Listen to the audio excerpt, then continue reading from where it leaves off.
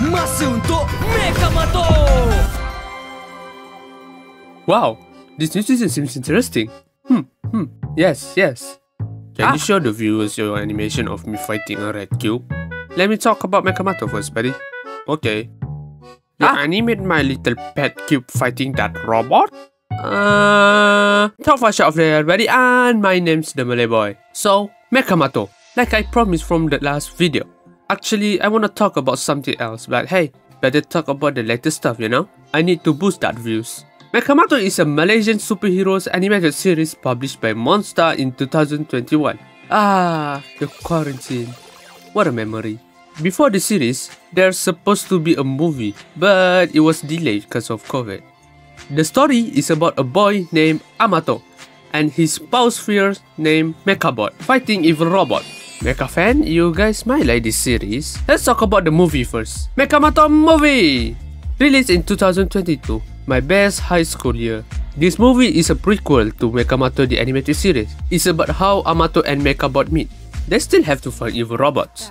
Also, an alien is the main villain. Oh yeah, and their secondary hero, Masmana. This guy literally take over the Mechamato movie's marketing because of one line.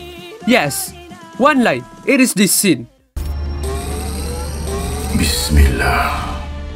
He's so cool when he do that. Oh yeah, this movie is rated P13. The first time I watched it, there are some violence in it. I thought that's the reason. Then I rewatched it. Oh boy, it's more than just a violence. Was like have something to do with death. Your family jewel just got destroyed. Political stuff also involved. Like this guy trying to cover up a robot attacks. At least something realistic happened instead of letting an 11 years old fighting aliens. The villain, Grakakus, is so cruel, man!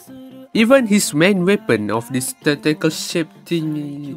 Okay, I glad Monsta made this weapon can turn into a scythe. It makes sense since sight is a symbol of death and he kills people using that.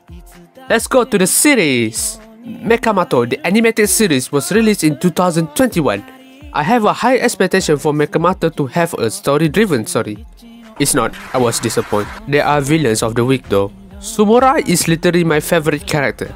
In season 1 and season 2, he is literally the final boss. Season 2 have two part episode for the finale.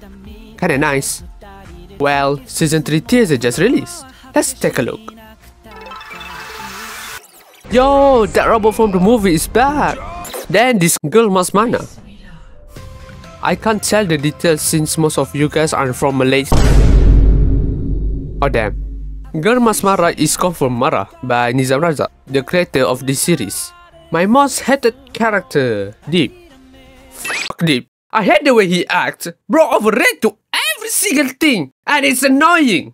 They made the Indians a comedy character is fine, but why make them annoying? Gopal is less annoying for now. That's good. But Deep, he's so annoying. Monsta can cause a racism. Oi. Oh, hi. What's up? I still want an explanation from you. About the animation? Yeah. Oh, well, um, I can make Anim Blue do a finisher on you. What? Is that an excuse?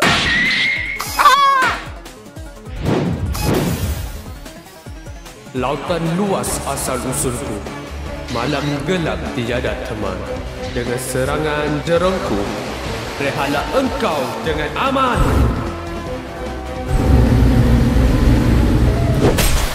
Hehe, I wonder how many randoms died on my channel.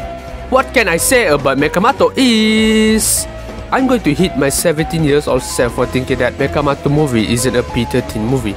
Like, share and subscribe for more videos like this. Follow me on Instagram and TikTok.